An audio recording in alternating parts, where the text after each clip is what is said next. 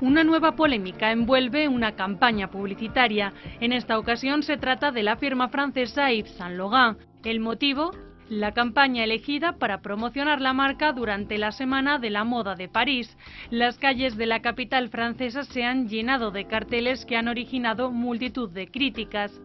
Las redes sociales se han hecho eco de la polémica originando un hashtag para que retiren las fotografías. Argumentan que incitan a la violencia y crean malestar social.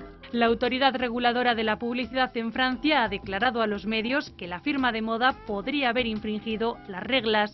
Argumentan que en publicidad se excluye cualquier representación degradante o humillante de la persona humana. Por el momento han pedido a la firma que modifique dos de estos anuncios antes de su encuentro del próximo viernes.